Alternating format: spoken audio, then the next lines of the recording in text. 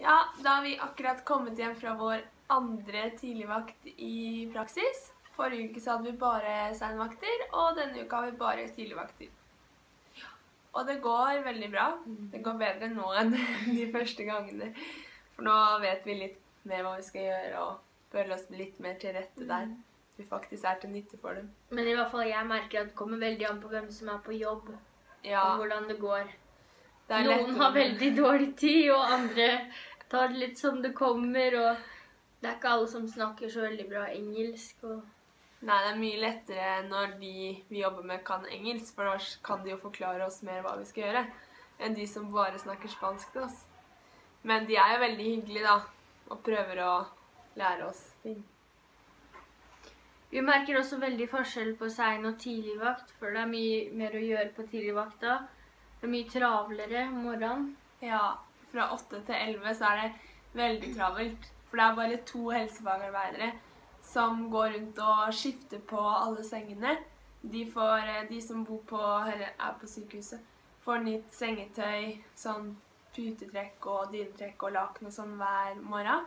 Og ellers når det er behov for det. Så de skal da skifte på 28 rom, og mange av de rommene er i tillegg dobbeltrom. Så det er veldig mange pasienter kun for to pleiere, da. Og så er det i tillegg to sykepleiere, men de har jo mer de medisinske oppgavene, så de er ikke så mye med på sånne ting. Så skal vi også servere frokost. Sånn rundt halv ni. Og etter det så har vi gått på den Det er sånn kontrollrunde. Hvor vi tar blodtrykk og puls. Og oksygeninnholdet Innholdet. Ja, i I blodet. Eller det er O2-metning, som det heter. Ja. og så henter vi inn maten igjen. Og ellers resten av dagen så hjelper vi team til med det som trengs. Litt sånn Da er det å skifte på tomme rom hvor pasienten har dratt hjem. Ta imot nye pasienter og da måle blodtrykk og alt det på de. Ja. Servere vann. Mm. Og så ta de Det er sånne klokker som ringer når de trenger noe, så da pleier vi ofte å bli sendt på det. Altså hvis vi klarer å ordne det sjøl, så gjør vi det. Hvis ikke så må vi ofte spørre de andre eller sykepleierne hvis det er noe vi ikke vi kan gjøre, da. Ja, og da på kveldsvakta, så det første nesten vi gjør, det er å gå sånn kontrollrunde igjen. Da gjør vi alt det samme, bare vi måler temperaturen også. Mm. Og resten av kvelden da, så serverer vi mat og tar inn mat igjen. Og det er både to måltider på dagvakt og på kveldsvakt. Eh, og så reier vi opp nye senger til de som kommer. Og det går veldig fort. De er helt ekstreme på det her nede. Det går skikkelig fort unna når de gjør det. Ja, de blir litt oppgitt, altså. Ikke generelt. Ja, vi er litt treige for dem innimellom, men ja. Det er, også, de er sikkert vant med at Ja. uh, man ikke er ferdig utlært etter bare noen dager. Og så Ja, vi har merka litt forskjell på sånn som Helle og Stine snakka om tidligere, det med hygiene.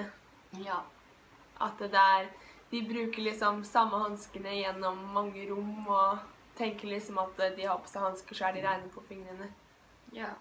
Mm. Også sånn at de ikke har så god tid til å snakke med pasientene. Og det er jo veldig vanskelig for dem å snakke med pasientene når de heller ikke kan spansk, da. Og ikke de som jobber der, kan engelsk. De norske blir veldig glad når vi kommer. Ja, jeg hadde min første norske pasient i dag. Så hun syntes det var veldig koselig at det var norske på sykehuset. Så hun kunne forklare henne litt mer og sånn. Hun kunne ikke engelsk eller noen ting. Og så Men det de er veldig flinke til, det er sånne tekniske ting. Som Ja. PC og blodtrykk og alt av det. Ja, så alt i alt så har vi det veldig bra her nede. Men det skal bli deilig å komme hjem igjen. Jeps. Bye, bye. Tiembe. Adios! Hasta luego. Oi. Jeps. To go over. Ja, nå har vi akkurat kommet hjem fra seinvakt i praksis. Mm -hmm. Ja. Nei, for vi har vært på tidligvakt.